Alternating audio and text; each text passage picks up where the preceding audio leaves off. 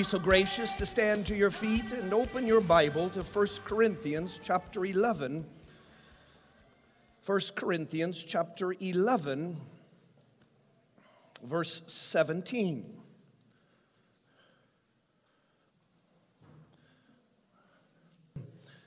Uh, to try to respect uh, your time uh, today. 1 Corinthians chapter 11, verse 17 verse 17. Tell me if you have it. I want you to see your Bible and get familiar with it. I'm reading out of the King James Version. Paul writing this book to his own church and to us. He says in verse 17, Now in this that I declare unto you, talking to his own church, but I cannot praise you, for when you come together, you don't come together for the better, but you come together for the worst. This is his own church. First of all, when you have come together in this church, I hear that there are a lot of divisions amongst you. Someone shout unity. unity. Someone shout agreement. agreement. For there must also be heresies amongst you if there's divisions, which are approved and made manifest amongst you. Verse 20, and when you come together, therefore, in one place, is it not to eat the Lord's Supper? For in eating, every one takes his own supper, and one is hungry and one is drunk. He said, Don't you have houses to eat and to drink? Why are you despising the church of God and bringing shame to her? He says, I cannot praise you for that. Quick note in his church, they were drinking uh, the communion wine and eating the bread, unleavened bread, and and uh, he was telling them, You're getting drunk in service and you're eating the bread. What's going on in your mind? You, sir, you, you sure you want to go back to the early church? He said in verse 23 For I have received of the Lord, I delivered unto you Notice carefully that the Lord Jesus, that same night that he was betrayed, he took bread. And when he had given thanks, he broke it and said, Take and eat, this is my body, which is broken for you. Do this, what, beloved? One more time, do this, what? He wants you and I to remember some things. Remember some things. After the same manner, he took the cup which he had Stop saying, This is the cup of the New Testament in my blood. Do this as you often do. Drink it in remembrance of me. For as often as you eat, doesn't tell us how often to take communion or the Lord's Supper. He says, As often as you eat this and drink this cup, you are showing the Lord's death till he comes. Once he comes, we won't have communion anymore. Chapter 15, quickly.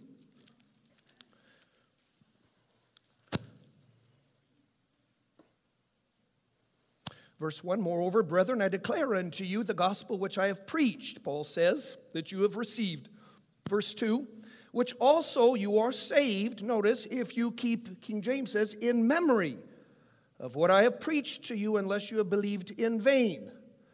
For I delivered unto you first importance, that which I received, notice, how Christ died for our sins. First importance according to the scriptures. He was buried, rose again on the third day, according to the scriptures. Seen of Peter, the 12, 500, and such. Verse 19, I don't know what that is. Verse 19, Paul says, If only in this life you have, who's listening? If only in this life, notice what he says, and only in this life we have hope in Christ, we are of all people most miserable. Did you hear that, beloved? If this, if this life is the only place you have hope in Christ, we are most miserable. But now he has risen from the dead. Mm.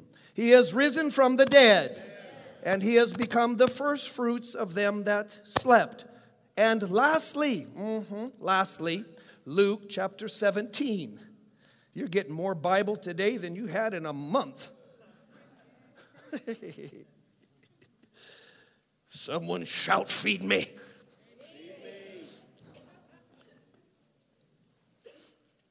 Luke 17, 37. And uh, Jeremy, if you'd put that on the overhead, that'd be super.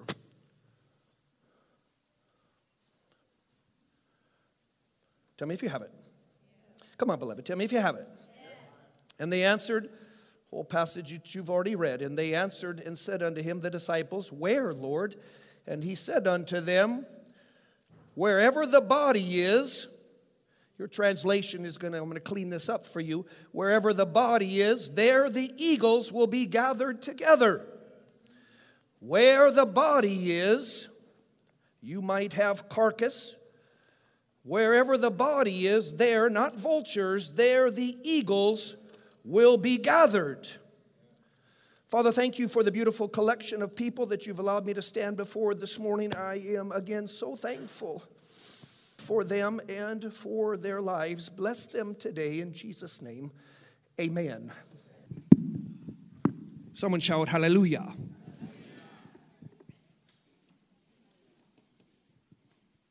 Do this in remembrance of me. Remember Remember, keep in memory, remember. Wherever the body is, the slain body of Christ, there the eagles will be gathered. There the eagles will be gathered. I want to quickly bring to you this morning a reminder that you are an eagle. I said, I'm going to remind you today that where the body is, where the slain, Revelation 5 6, the slain body of Christ, there the eagles will be gathered.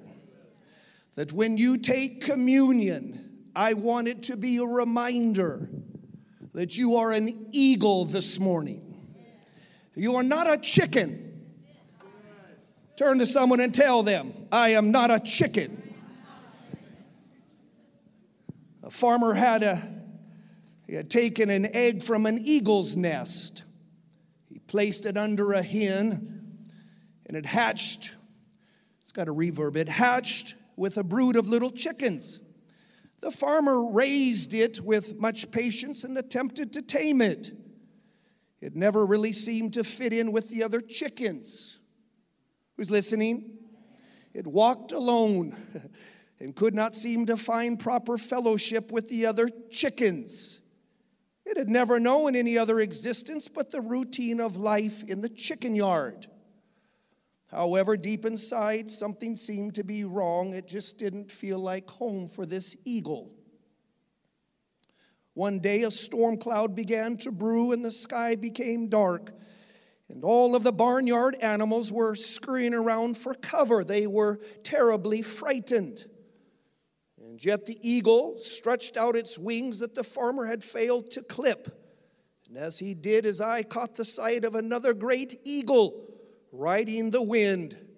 His wings were outstretched in majestic form, and he was not afraid of the storm at all. The eagle that had been raised as a chicken looked at all of the other chickens in the barnyard, frantically scurrying around this eagle heard the piercing cry of another one in the sky, and at that moment he knew he had to get out of the chicken yard.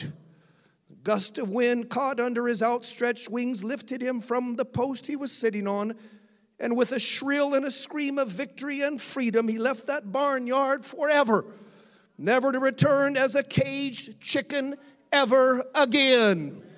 I am here to remind you that you are an eagle you are not a chicken.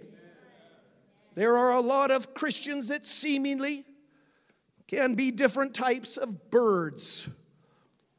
A magpie, overly aggressive and bully, abuses and drives others from God. They're pushy Christians, always talking, rarely listening, always trying to fix others when they themselves need fixed. You are an eagle. You're not a magpie. Let me have an agreement. You're not a kookaburra. To him, life is one big party, one big joke. He takes nothing seriously and laughs at everything, even when it's totally inappropriate. He's a big clown. not sensitive to people at all. You're an eagle. I said, You're an eagle. You're not a vulture, you're not a buzzard. This bird, Christian, enjoys the filth of life, eats dead things that have no eternal value. This Christian bird loves to rip people apart, tear them to pieces with his mouth, spreads rumors, thinks nothing of destroying a reputation or a ministry. He has the smell of death about him. Hey, you're an eagle. You're not a parrot or a cockatoo. These are the talkers of the bird kingdom. Can you manage this communion service? This is the super spiritual Christian who can talk the talk but can't walk the walk. They parrot fashion, mimicking someone else. All head knowledge, no experience, all noise and no action. You are an eagle. You're not a cuckoo bird. This bird loves to sponge off someone else, doesn't want to build its own nest but looks for one that's already finished by someone else. It lays its eggs there, then leaves the other bird to raise its babies. Who's listening? There are a lot of cuckoos in church today looking for handouts. They don't want to work. Sometimes they're not even born again, but operate under a religious spirit. Hey, you're an eagle. You're not a peacock. This Christian's flashy showy bird, overambitious, full of pride, loves themselves. Look at me, I'm superior. They love strutting their stuff. You're an eagle. You're not a pelican. This is a jolly bird, only wants to eat, thinks about its belly all of the time. Happy to sit back with a beer and a smoke and let the little lady clean the house. I said, You're an eagle. You're not a crow. Better get through my birds. You're not a sparrow or a finch. See what I did all weekend? I don't know if it was worth the time. My God, how many birds are there? Jeez, I don't even know how to pronounce some of these. Like, what bird's that? A sparrow, they fritter from place to place, chattering away rarely having anything worth listening to, usually in a social whirl. I said, You're an eagle. These sparrows and finches hop from church to church without ever settling down. Rarely do such birds grow in God. You're an eagle. You're not a canary. These are beautiful birds with tremendous potential. Listen, they're content, though, to spend the rest of their lives locked, locked behind the bars of a cage whatever that cage might be religious tradition, a dead church, inferiority and insecurity. They live and die behind the bars of their cage without really having ever lived. I said, You're an eagle. I said, You're an eagle. Where the body is, there the eagles will be gathered. You are bold. You are strong. You are devoted. You know the thermal currents of God's Holy Spirit. You are a bird that has been chosen by Him, and He has great plans for you. You and I must realize that as an eagle Christian, that you are born with spots and blemishes. But as long as you don't believe the lies of the devil, he's going to remove those spots and those blushes and you're going to glow like the eagle you are. Don't you quit. I said, Don't you quit.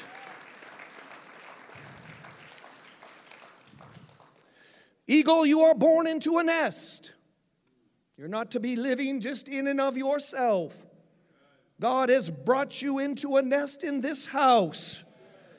He has brought you here to fellowship and to have communion and to get to know one another. He has brought you into a nest and seated you in heavenly places. You are an eagle, and your strength comes from what you eat. Where the vulture eats dead prey, you must have living water, living food for God to grow and to strengthen you. Eagle, you must realize that God will stir your nest up. He'll flutter over you and make your nest a little uncomfortable. Why? Because He wants you to grow. He wants you to be changed from glory to glory and strength to strength.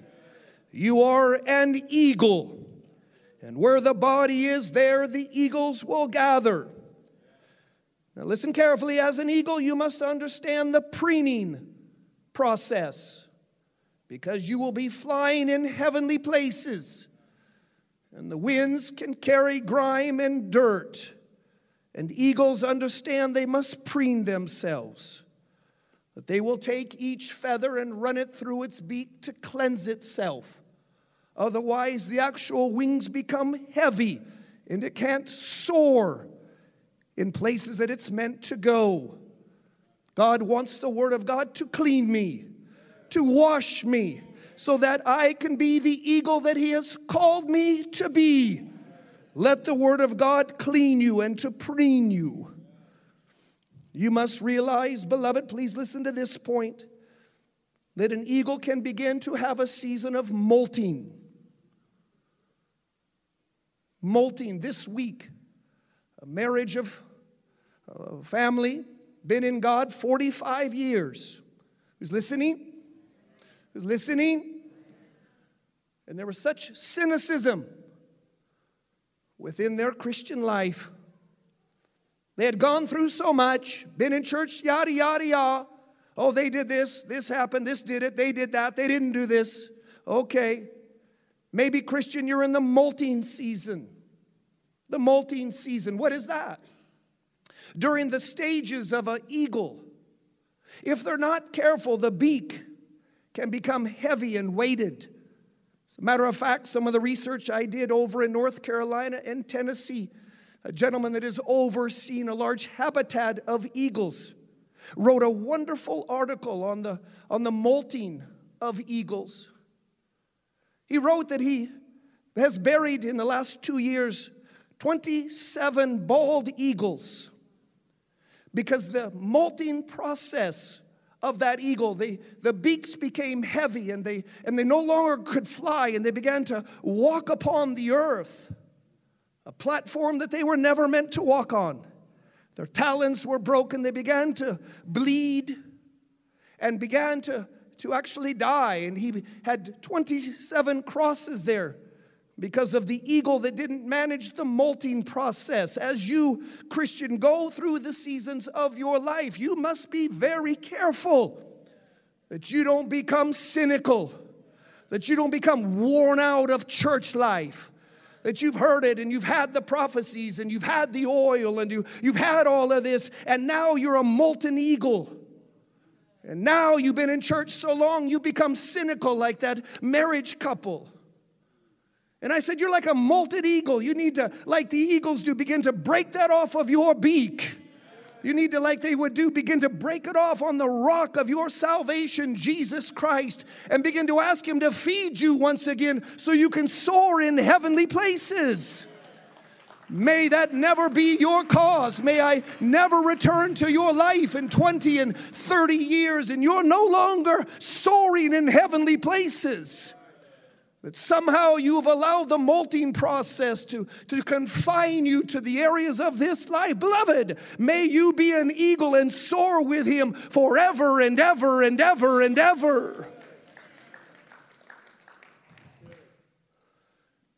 He was mentioning in that article that he saw those that were, I think he mentioned seven that were in the molting process.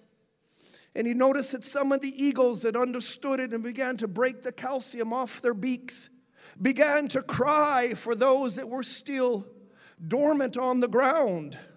They actually began to drop pieces of living uh, fish and food to try to encourage them to eat again. And he mentioned two of these, of the seven, began to eat and began to break that off their beaks and allow the sun to begin to heal them from sicknesses and disease and began to fly again. But the others perished, and he had more crosses. I wonder how many Christians that have been in the molten process of their lives give up on God, Give up on the house of God. Give up on this and this. And I told this couple, look, I can be cynical too, beloved. But I'm here to tell you that Jesus Christ still is King of Kings. He still is on the throne no matter what has happened to you, no matter what has taken place to you. He is worthy of your life.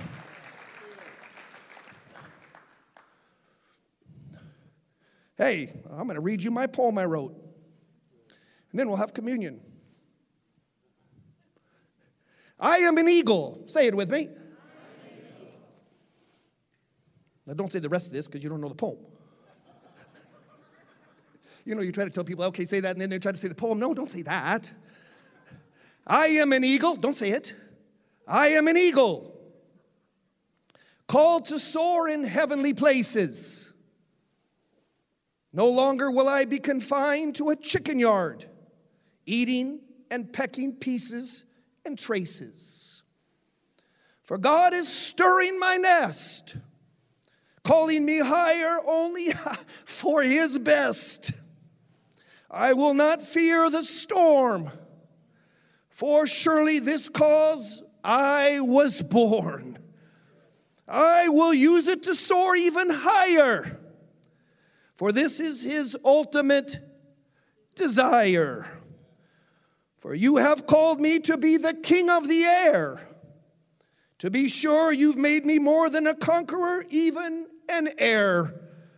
I will take flight this day, for soon it shall surely pass away. I am an eagle. Turn to someone and tell them, You are an eagle.